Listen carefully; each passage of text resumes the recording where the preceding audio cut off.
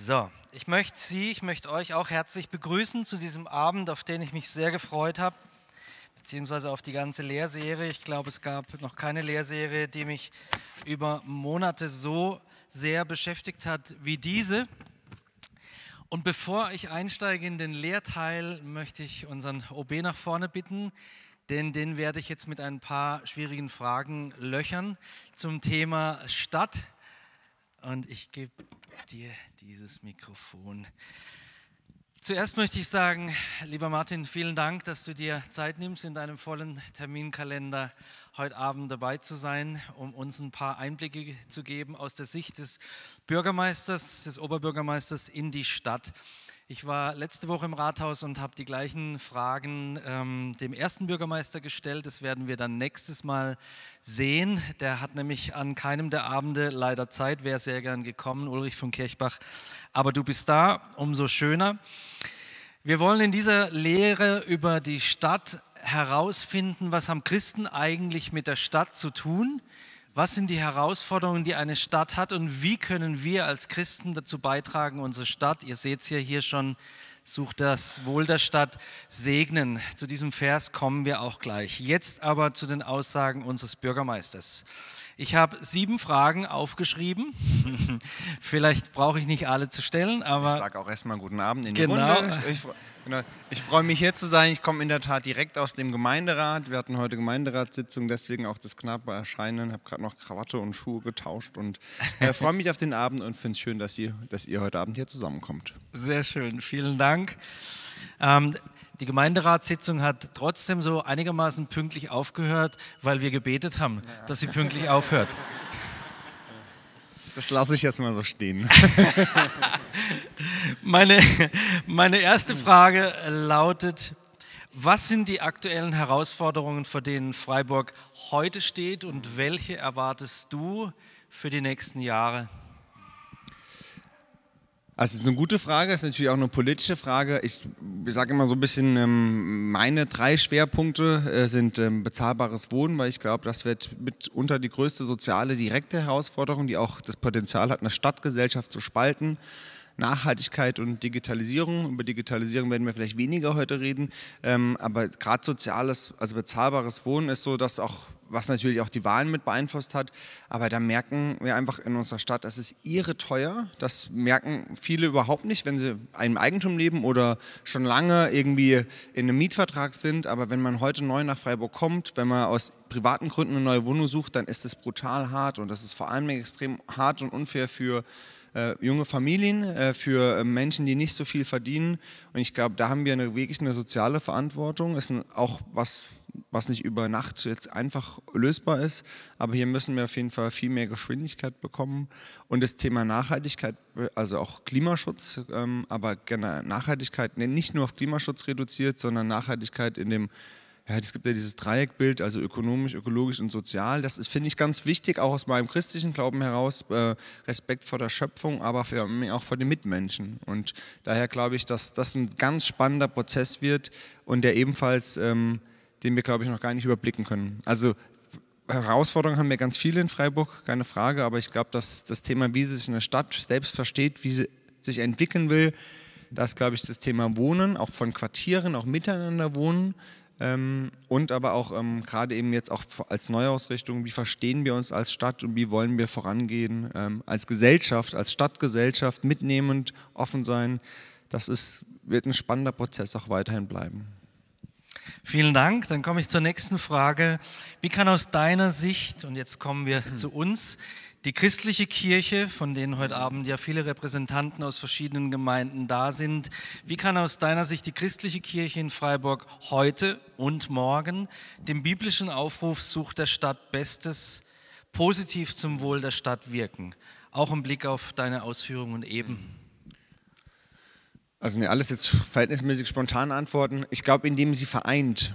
Also in dem, erstmal das Dankbarkeit ist was, was mich irgendwie erfüllt, auch klar durch meinen Glauben heraus, gerade das letzte Lied. Und auch ähm, in dem Menschen äh, aus ihrer christlichen Überzeugung heraus Arme reich machen, indem sie teilen, aber vor allen Dingen auch Schwache stark machen, indem sie ihnen helfen. Ähm, und ich glaube, da ist diese eine in dem, in dem Christen Menschen miteinander vereinen, verbinden. Ich glaube, das ist was ganz Zentrales. Es gibt ja diesen bösen Spruch, äh, die Kirche ist der größte Feind Gottes, also weil die Kirche eben auch oftmals extrem verstritten ist.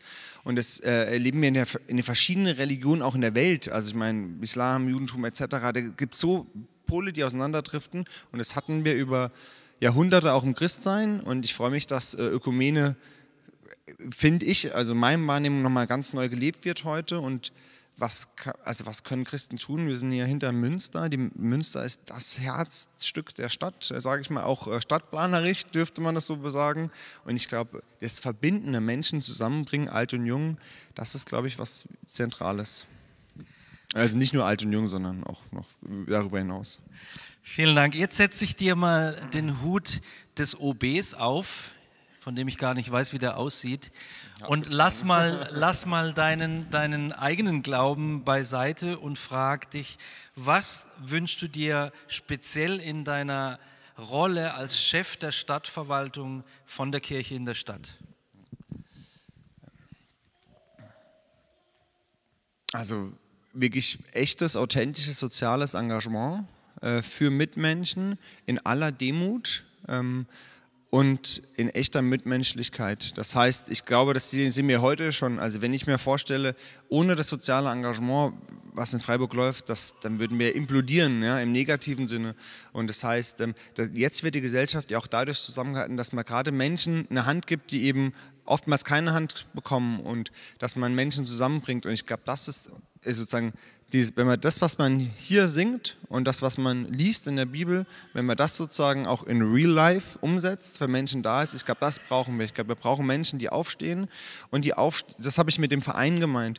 Also jetzt komme gerade aus dem Gemeinderat und sie haben einen super Gemeinderat. Ich würde nie was kritisch über unseren Gemeinderat sagen. Also würde ich schon sagen, wenn es einen Grund gibt, aber, aber natürlich sieht man das auch in der letzten Wahl. Wir haben ja 16 verschiedene Gruppen.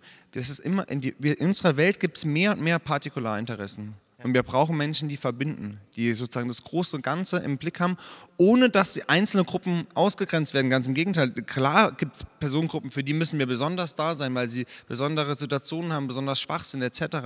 Aber wir brauchen Menschen, die die Gesellschaft verbinden, weil sonst haben wir nur noch Pole, die auseinanderlaufen. Das erleben wir politisch gerade ein Stück weit. Und das, äh, ich hoffe nicht, dass wir das ähm, gesellschaftlich erleben. Und das, das meine ich auch auf Fridays for Future. Fridays for Future, ich habe hab ja selbst allen Mitarbeitern eine E-Mail geschrieben und freue mich, wenn sie daran sich beteiligen etc. Also bin ja voll in diesem Bereich aktiv. Aber wenn Fridays for Future am Ende zu einem Generationenkonflikt wird, dann haben wir ein echtes Problem. Vielen Dank. Du hast jetzt zweimal das Verbindende erwähnt und da will ich überleiten zur nächsten Frage, weil das ja dann aus deiner Sicht ausbaufähig ist. Gibt es deiner, aus deiner Sicht auch Kritik oder gibt es in deinem Herzen, in deinem Denken Kritik der Christen gegen den Christen gegenüber der christlichen Kirche in ihren unterschiedlichen Ausformungen gegenüber hier in Freiburg? Also, will jetzt erstmal zurechtrücken. Ich habe das nicht mit meinen Äußeren kritisiert, sondern die Frage war, was ich mir wünsche. Und ich wünsche mir das, was es zu Teilen ja schon gibt. Aber natürlich wünscht man sich immer mehr. So sind Menschen halt irgendwie auch genetisch gestrickt. Ähm, also, was ich was du gesagt, also City Changer, ja, das ist sozusagen, das ist ja die Botschaft. Und eine, und eine, Stadt kann man nur verändern, wenn man in ihr aktiv wird und rausgeht. Also ich würde mir wünschen, dass das Ökumenische ähm, noch mal viel stärker kommt, das, was man heute Abend noch sieht, dass wir nächstes Jahr hoffentlich dann in Münster bei dem ökumenischen großen Gottesdienst sehen werden. Wenn wir erleben, dass man Grenzen überwindet, auch, also auch Konfessionsgrenzen, aber auch einfach menschliche Grenzen und ganz konkret, ich freue mich immer, wenn man, ist es zum Beispiel, wenn man Häuser öffnet, also wenn man Häuser, auch Kirchenhäuser öffnet. Also es ist doch, wir sind eine Stadt, wir haben so einen Mangel, nicht nur an Wohnraum, sondern auch an Begegnungsstätten, an Bandprobenutzungsräumlichkeiten, an Vereinsmöglichkeiten, ja. Warum haben wir denn kirchliche Häuser, die den halben Tag leer stehen oder abends immer leer stehen oder am Wochenende mal leer stehen? Das wäre doch, also fände ich eine tolle Botschaft sozusagen auch, wenn kirchliche Häuser, Gemeindehäuser auch von Freikirchen in den Zeiten, wo eben kein Betrieb drin ist, wenn man sich für Vereinstätigkeiten öffnet. Also in die, in die Stadt hinein als City Changer versteht. Danke. Jetzt noch einmal zugespitzter. Deutliche Worte. Ich lasse ihn nicht entkommen. Deutliche Worte sind in, heute in den verschiedensten Bereichen gefragt. Ich mache die Feststellung, dass Menschen die klare Kante zeigen, im Unterschied zu vielleicht in den letzten Jahrzehnten nicht ähm, als komisch und verschroben angesehen werden, sondern als mutig mhm. und als jemand, als Menschen, die zu ihren ähm, Überzeugungen stehen. Du hast vorhin Fridays for Future erwähnt. Greta Thunberg hat auf mhm. dem Klimagipfel deutliche Worte gefunden. Du musst jetzt kein so ärgerliches Gesicht machen wie sie. Ja, ja. Aber ich möchte dich herausfordern, deutliche Worte an die Kirche zu richten. Also gibt es etwas, wo du sagen würdest, Mensch, ihr müsst da aus den Löchern kommen, ihr müsst da auf die Spur kommen. Du musst nichts sagen, wenn es nichts gibt, aber dein Wort hat Gewicht. Also erstmal verstehe ich dieses Greta-Bashing überhaupt nicht. Ähm, das ist, ich glaube, man darf sie nicht hochstilisieren und sie ist keine tolle Ikone. Und ähm, natürlich ist sie ein Mädchen, das in äh, sehr überproportional guten äh, Lebensverhältnissen aufgewachsen ist. Ja? Aber ich finde, wenn sie sagt, ihr habt mir meine Zukunft geglaubt, dann stimmt das vielleicht nicht für, für sie als Person, aber dann stimmt das für hunderte andere Kinder, hundert Millionen andere Kinder in der Welt. Also deswegen ähm, zum Thema Greta-Bashing deutliche Worte. Habe ich Greta gebasht? Nein, nein, nein, aber ich, nein, nein, gar Greta nicht. Aber, ja, wir hatten gerade vorgestern eine ganz große interne Diskussion auch äh, bei Fast uns. Fast sakrosankt, ja, sowas. Genau, nein, nein. Ähm, ja, das ist natürlich nicht alles Gold, was glänzt. Ähm, also äh, in, in, Kirchenbashing oder deutliche Worte wünscht er nicht Bashing, ist ja gleich negativ. Ähm, genau.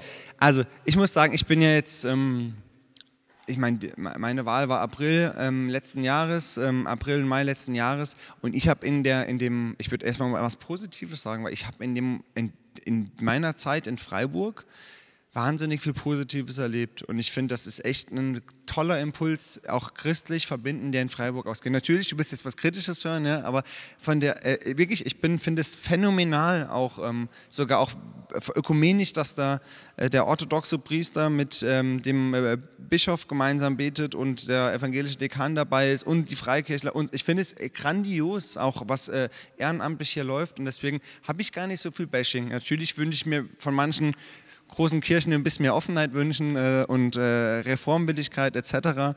Ich würde den Satz von vorhin nochmal sagen, die Kirche der größte Feind Gottes, das darf es nicht sein. Also das, die Kirche muss ein verbindender, einladender Ort sein. Und sobald wir Kirche politisch und abgrenzend verstehen und Glauben ausgrenzen leben, dann ist es meiner Meinung nach nicht nur kontraproduktiv, dann hat es auch nichts mit meinem Verständnis von christlichem Glauben zu tun. Und ähm, das würde ich dementsprechend dann auch ähm, deutlich kritisieren. Gut, dann überspringe ich die Frage, gibt es einen Kritikpunkt, den, die überspringe ich.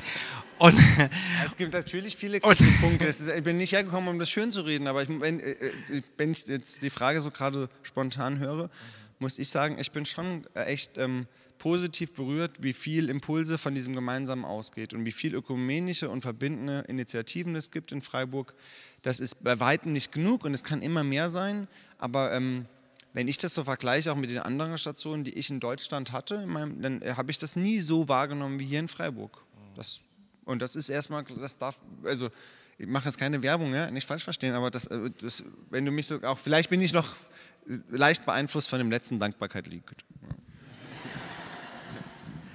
Gut, dann, lieber Martin, äh, ein Ende mit der Qual der Fragen. Hast du noch etwas, was dir darüber hinaus auf dem Herzen liegt, was du gerne dem Auditorium sagen möchtest?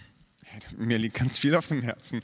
Also, du hast 30 Sekunden. Ja, wir könnten die, äh, wir könnten mal die Agenda der Gemeinderatstops rund ein. Also, ähm, ähm, ja, also ich würde mich freuen, wenn die Impulse von dieser City Changer-Reihe eben nicht nur Impulse sind, die in diesen vier Wänden bleiben, sondern wirklich ausstrahlen. Das ist ja sozusagen die Kernbotschaft auch hinter der Veranstaltungsreihe. Und ähm, wenn das Christinnen und Christen schaffen, Menschen mitzunehmen, zu begeistern, ehrlich, authentisch zu, sind, äh, zu, äh, zu sein und einfach in unsere Stadt verändern. Und nicht nur unsere Stadt, natürlich unsere Region und damit unser Land und vielleicht sogar unsere Welt, aber vor allem jetzt hier ganz konkret in Freiburg. Und das geht meiner Meinung nach immer nur mit was ganz Konkreten. Also natürlich brauchen wir pathetische Worte und äh, schöne Reden, aber wir brauchen konkrete Projekte, tägliche Akte der christlichen Nächstenliebe. Ich glaube, das erwartet auch der da oben. Vielen Dank, Oberbürgermeister Martin Horn. Auch heute Abend ist auch ganz, ganz Martin Horn.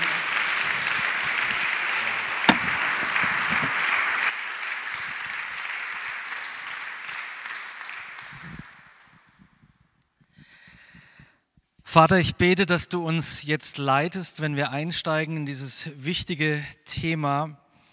Ich bete, dass du Offenbarung schenkst durch deinen Heiligen Geist, damit es eben nicht heute auch nicht bei dieser Lehrserie bei pathetischen Worten bleibt, bei schönen Beschreibungen und bei dem Aufzählen von Fakten, sondern Herr, ich bete, dass du die Gnade schenkst, dass unsere Herzen und unser Sinn durchdrungen werden von deiner Sehnsucht nach den Menschen in dieser Stadt, die es eben nicht so gut haben wie wir, die am Rand stehen, die dich nicht kennen, die noch nicht Leben gefunden haben, die vielleicht keine Perspektive oder Hoffnung haben.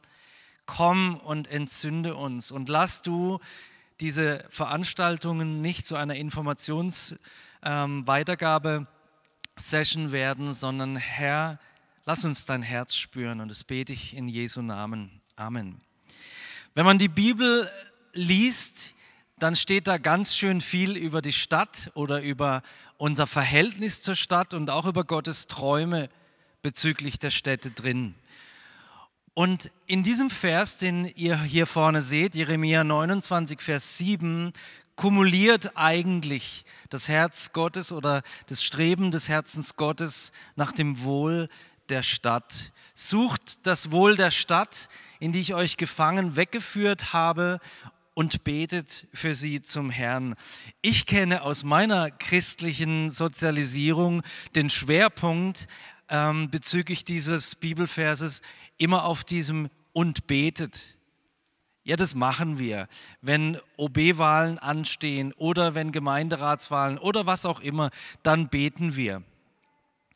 Aber das Beten scheint mir hier, und das sage ich jetzt als Leiter eines Gebetshauses, fast wie der Wurmfortsatz zu sein. Der Blinddarm, der da dranhängt an der ersten Aussage, sucht das Wohl der Stadt. Wir sollen uns also auf die Suche machen und Suche ist Aktion. Suche ist nicht in meinem Kämmerlein zu beten und still zu werden, das gehört zum Und, sondern suchen heißt tatsächlich aktiv zu werden.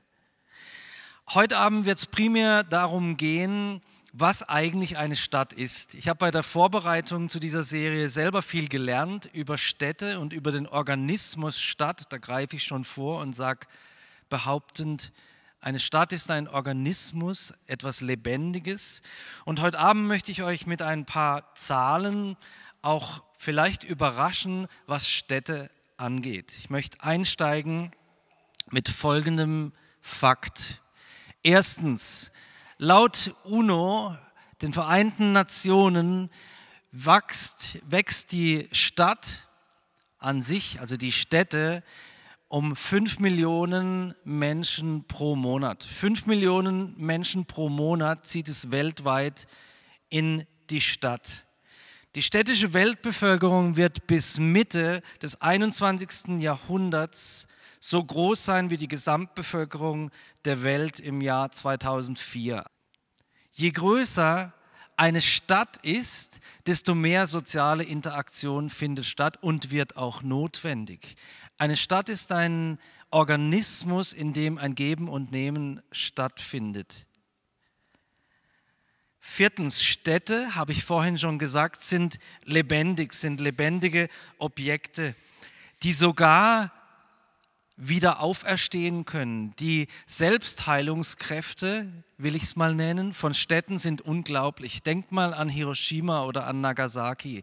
Städte, die völlig zerstört waren. Mein Vater war hier beim Bombenangriff 1944 äh, in Freiburg äh, betroffen seine, sein, das Haus, in dem er gelebt hat. Und hier ums Münster herum war alles kaputt, alles platt. Und es ist wieder aufgebaut worden. Da, wo mal eine Stadt war, die durch Krieg vielleicht völlig zerstört wurde, wird in der Regel auch wieder eine Stadt gebaut. Fünftens, heute spricht man Neudeutsch von sogenannten Magnet Cities. Das sind Städte, die Menschen anziehen wie ein Magnet. Es gibt aber auch das Umgekehrte. Es gibt Städte, die Menschen abstoßen. Denken wir zum Beispiel an Detroit. Detroit in den USA, da will niemand so gerne hinziehen, weil es da sozial so schwierig aussieht.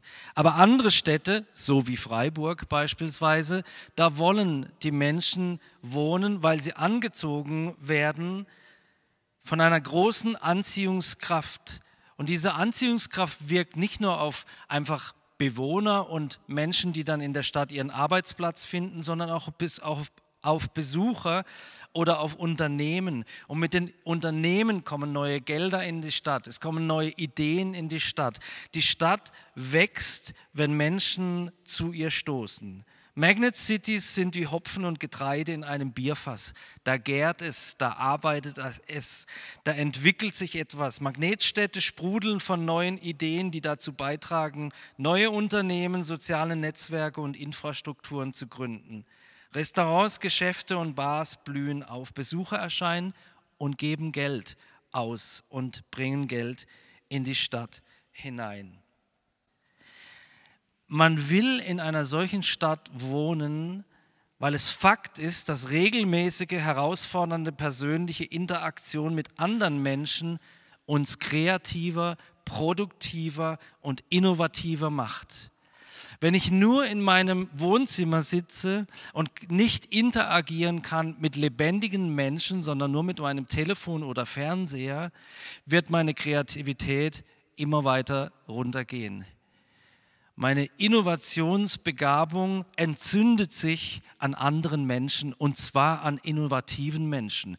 Und innovative Menschen trifft man zuhauf in den Megazentren dieser Welt. Und natürlich gibt es ganz profane, grundlegende Gründe, warum Menschen in einer Stadt leben wollen. Eine Stadt bietet Sicherheit. Eine Stadt bietet Unterschlupf. Eine Stadt bietet Versorgung.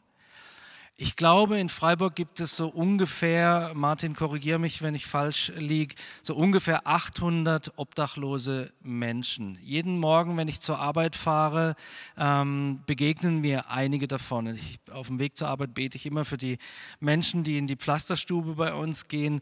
Und ähm, die versammeln sich in der Stadt, weil es dort Versorgung gibt weil es dort Kommunikation gibt, weil es soziale Fürsorge gibt.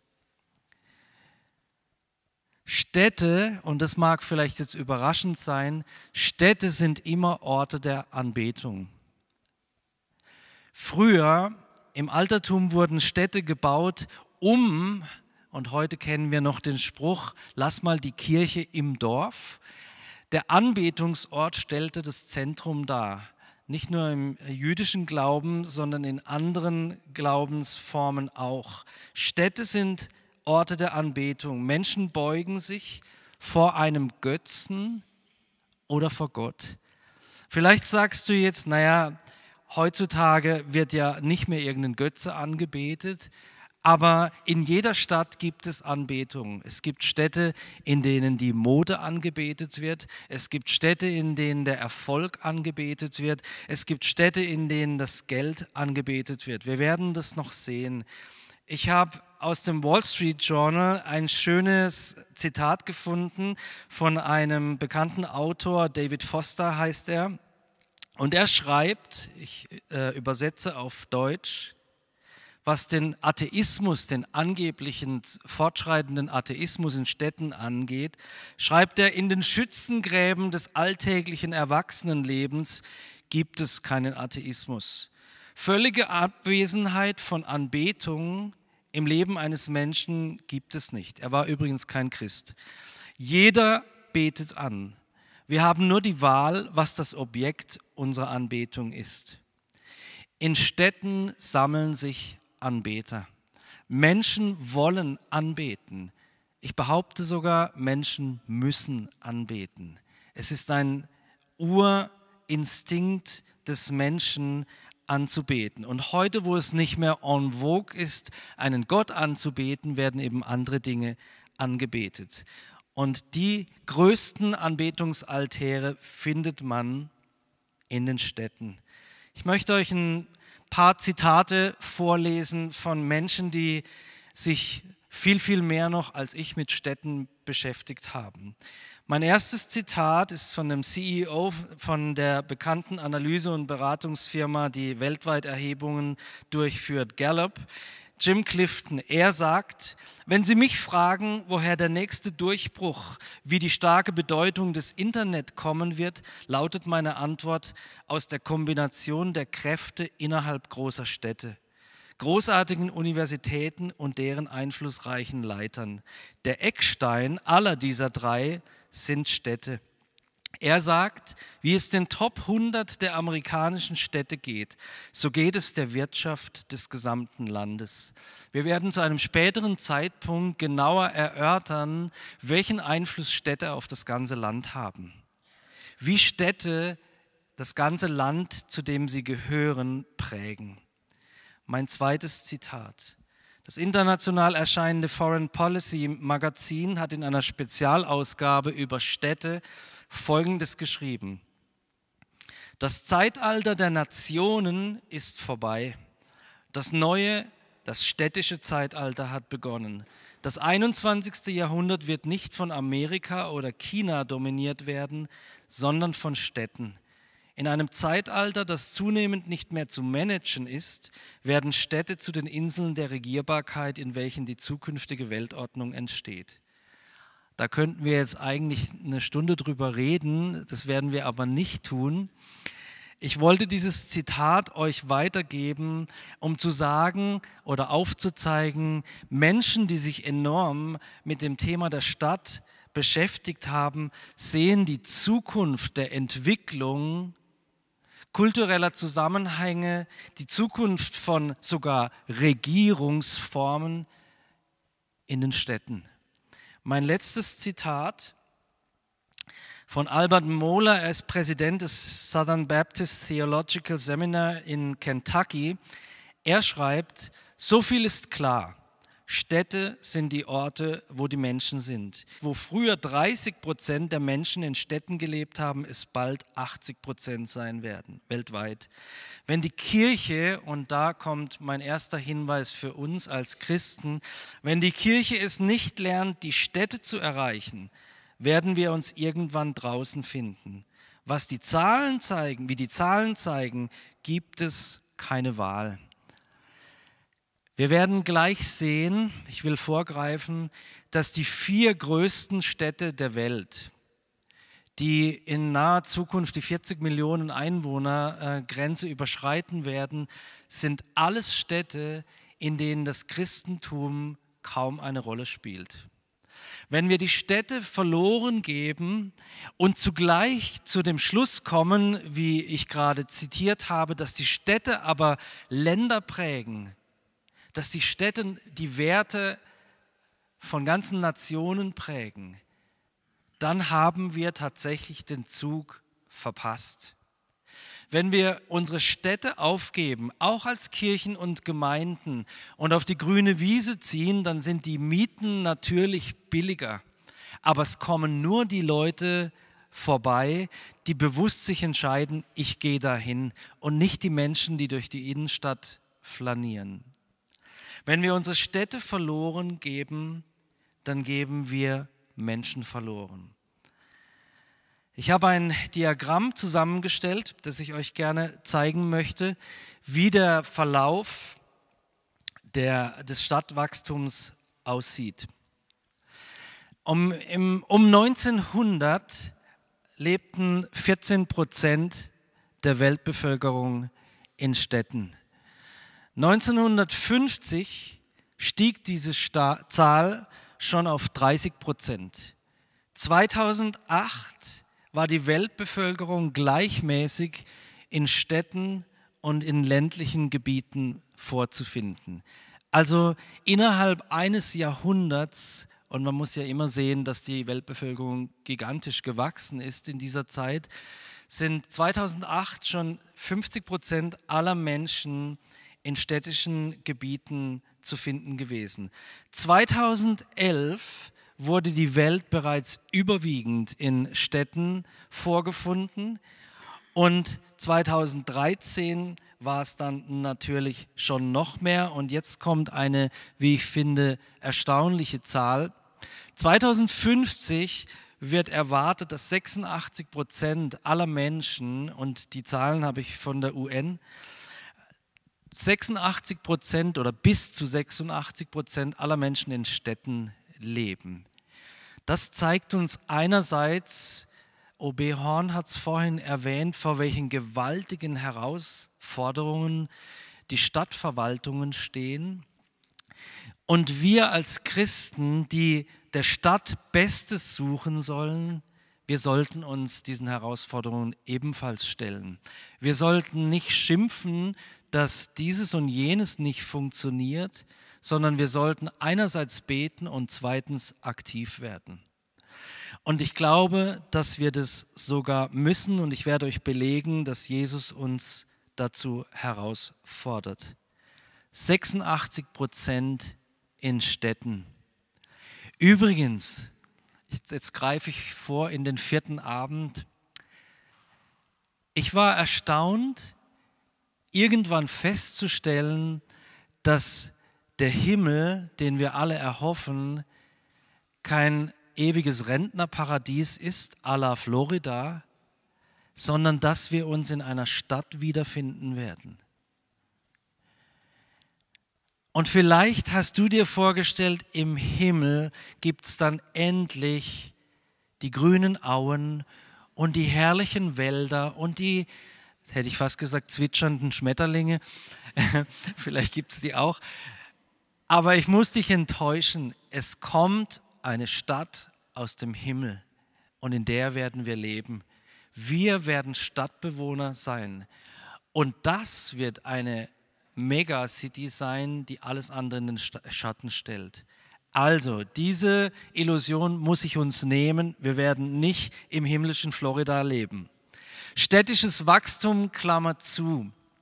Mein nächster Punkt. Hier nochmal ein paar Zahlen und lasst euch die mal auf der Zunge zergehen. 22 Prozent der Weltbevölkerung leben in nur 600 Städten. Ich habe versucht herauszufinden, wie viele Städte denn gibt, es denn gibt. Ist natürlich schwer, weil a weiß es niemand und b ist es eine Definitionsfrage, wo fängt eine Stadt an und wo hört eine Ortschaft auf. Aber mir kommt es auf folgenden äh, Punkt an. 22 Prozent der aktuellen Weltbevölkerung leben in nur 600 Städten. Und diese 600 Städte wiederum erzeugen heute 60 Prozent des Bruttoinlandsprodukts der ganzen Welt. 600 Städte weltweit, in denen 22 Prozent aller Menschen leben, erzeugen mehr als die Hälfte des Bruttoinlandsprodukts der ganzen Welt. Beispiel, noch einmal möchte ich die Megacity New York erwähnen. New York City, erstaunlich, stellt die gesamte Wirtschaftsleistung von Ländern wie Mexiko oder Indien in den Schatten. In Indien gibt es ein paar Menschen. Und eine Stadt stellt die gesamte Wirtschaftsleistung von Mexiko oder Indien in den Schatten. Ich habe euch gesagt, ich habe versucht herauszufinden, wie viele Städte es denn aktuell gibt. Und ich habe einen Wert gefunden, der mir einigermaßen zuverlässig erschienen ist. Wir haben in der Welt, je nachdem wie man zählt, 192 bis 195 Länder. Und in diesen 192 bis 195 Ländern gibt es 4037 Städte mit mehr als 100.000 Einwohnern. Einer von fünf Menschen lebt heute schon in einer riesigen Stadt. Es wird erwartet, und jetzt komme ich zu dem Punkt, den ich vorhin schon vorgegriffen habe, es wird erwartet, dass 2050 fünf Städte mehr als 40 Millionen Einwohner haben. Ich möchte euch diese ähm, Städte nennen und ich kann jetzt nicht mehr die Frage stellen, fällt euch was auf, aber ich will es trotzdem mal tun. Stadt Nummer 1 Lagos in Nigeria, Stadt Nummer 2 Karachi in Pakistan, Städte Nummer 3 und 4 Mumbai, das ehemalige Bombay und Kalkutta in Indien. Und Stadt Nummer 5 Dakar. Diese Städte werden voraussichtlich mehr als 40 Millionen Menschen haben. Das ist nicht vorstellbar, zumindest nicht für ich. ich lebe, für mich, ich lebe in einer Großstadt und es sind gerade mal 230 Hansele, 230.000 Hansele so ungefähr, aber 40 Millionen und fällt euch auf, wie ich vorhin gesagt habe, dass da keine Stadt dabei ist, die für ihr kirchliches Leben bekannt ist. Sind alles Städte, wo andere Religionen ganz stark im Vordergrund sind. Wenn wir an Mission denken, und ich will Mission definieren, der Versuch, Menschen die Liebe Jesu nahezubringen, sodass sich ihr Alltagsleben und ihr Ewigkeitsleben segensvoll ändert. Wenn wir an Mission denken, dann denken wir, ich gehe in den Himalaya oder nach Nepal und erreiche dort die kleinen Volksstämme. Und das ist wichtig und ehrenvoll.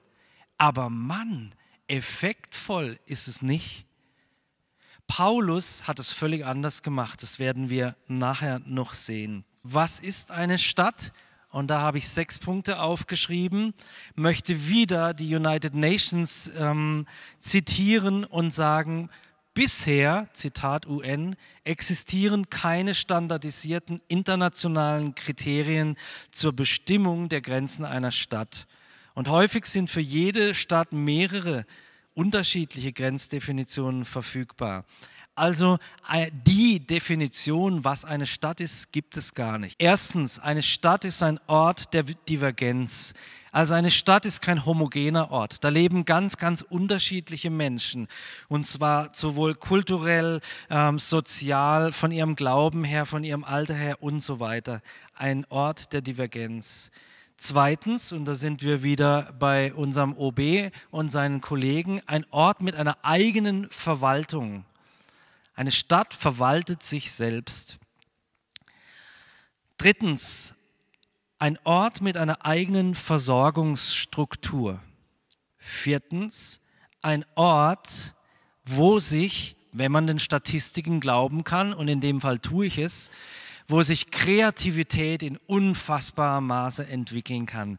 Ich lebe jetzt mittlerweile 55 Jahre in Freiburg. Ich bin einer der zwei gebürtigen Freiburger, die noch in Freiburg wohnen. Und, und will sagen, die letzten Jahre gab es eine erhöhte Geschwindigkeit im Bereich der Kreativität. Ich habe in einem Forschungsinstitut gearbeitet, 27 Jahre. Wir hatten gerade jetzt am letzten Samstag 70 Jahre Fraunhofer Gesellschaft Feier auf dem Platz der alten Synagoge.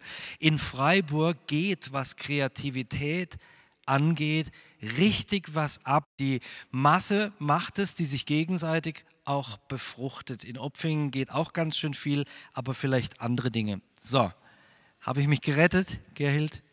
Gut. Eine Stadt ist ein Ort, wo Dienstleistungen verkauft werden, wo Dienstleistungen angeboten werden, die auf dem Land gar nicht angeboten werden. In der Stadt kannst du Dinge morgen kaufen, von denen du heute nicht weißt, dass du sie überhaupt brauchst. Das ist typisch Stadt. Es werden neue Sehnsüchte geweckt und das Produkt oder die Dienstleistung wird sofort dazu angeboten. Vorletzter Punkt.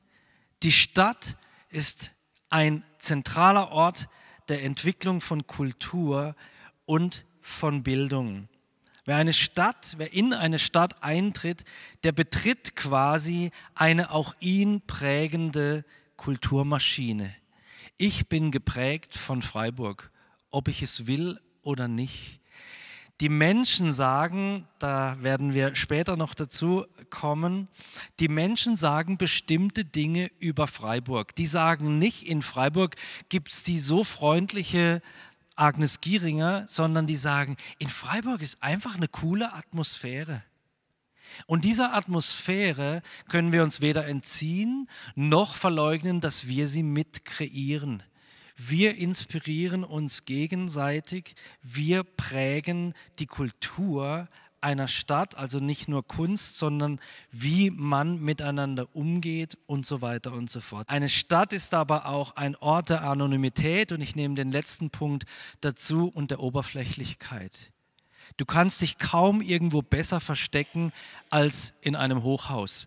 Ich habe ähm, neun Jahre, acht Jahre in einem Hochhaus gewohnt, in Weingarten im 14. Stock. Ich kam aus St. Georgen, einer grünen Idylle am Rand von Freiburg, musste in ein Hochhaus ziehen. Ich bin das erste Jahr ähm, ich war zehn Jahre alt, ich bin das erste Jahr gar nicht runtergegangen zum Spielen mit den anderen Kindern, weil ich deren Sprache nicht verstanden habe.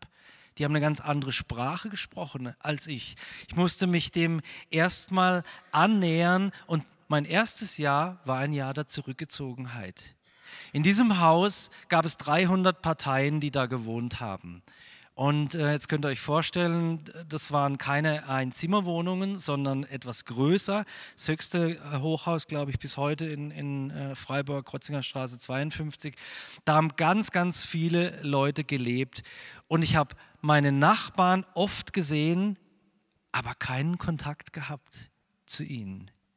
Anonymität und Isolation ist heute zu einem der größten gesellschaftlichen Probleme geworden. Menschen fühlen sich alleine. 80 Prozent nach Umfragen, 80 Prozent der Menschen weltweit, die befragt wurden, sagen, sie kennen Einsamkeit, Anonymität und Isolation. Das ist enorm und das ist ein Problem, mit dem man kämpfen muss. In England, ich habe das hier in anderem Kontext schon einmal gesagt, in England gibt es einen eigenen Minister eine Ministerin in dem Fall, für Einsamkeit beziehungsweise für die Beseitigung von Einsamkeit. Menschen in diesen großen Zentren können untergehen. Städte sind wie große Fabriken. Die fabrizieren die unterschiedlichsten Dinge, aber sie können auch Einsamkeit und Anonymität fabrizieren. Zusammengefasst gesagt. Städte sind das Zentrum oder das Zentrum der kulturellen und wirtschaftlichen Entwicklung in der Welt des 21. Jahrhunderts. Städte bringen wirtschaftliche Ressourcen, Unternehmen, Kunst, Universitäten, politische Strategien sowie Forschung und Entwicklung hervor. Das sind die Kulturgüter, die unsere moderne Gesellschaft formen und definieren. Städte sind wie große Fabriken. Was dort produziert wird, reicht weit über die Stadtgrenzen hinaus. Und zuletzt, in Städten ist alles in ständiger Bewegung. Liebe Freunde, dieser Teil sollte uns schon zeigen, Städte sind Plätze, Orte, ähm, Organismen, die ein ungeheures Potenzial in sich tragen. Und diesem Potenzial hat die Kirche von heute leider relativ wenig entgegenzuhalten. Dieses Potenzial wird relativ wenig genutzt. Ihr werdet es hören nächste Woche bei dem Interview, was unser erster Bürgermeister Ulrich von Kirchbach als Kritikpunkt gesagt hat. Es geht genau in diese Richtung. Ja, Freiburg liegt so in der Mitte des ähm, deutschen Bible Belts. Also es gibt hier ganz schön viele Christen. Aber wisst ihr was? Wenn wir den Mann auf der Straße fragen, dann gibt es nicht so viele, die so viele Christen kennen. Meinem Erkenntnisstand, meiner Erfahrung nach ist es so, dass viele Christen Städte nicht mögen. Ja, äh, jemand zeigt mir, ich sage jetzt nicht wer den Daumen, ja, aus unserem Auditorium. Viele Christen mögen Städte nicht. Das hat ganz unterschiedliche Gründe. Aber ein Grund ist, Städte sind dreckig, Städte sind anstrengend.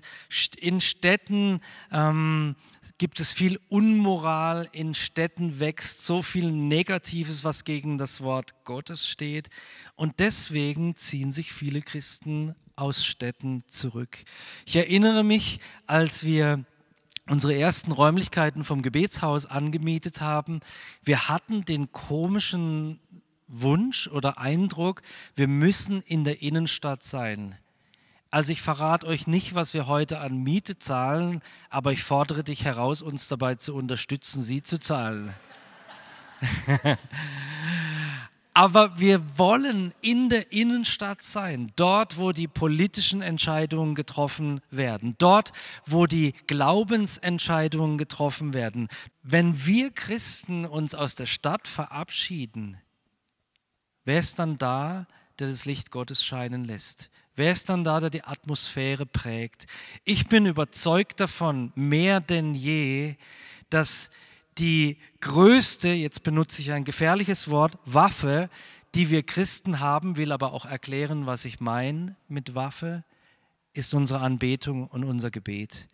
Die Präsenz Gottes kann alles verändern. Wenn wir der Bibel glauben, dann glauben wir, dass dort, wo Gott ist, Licht ist und Finsternis nicht sein kann.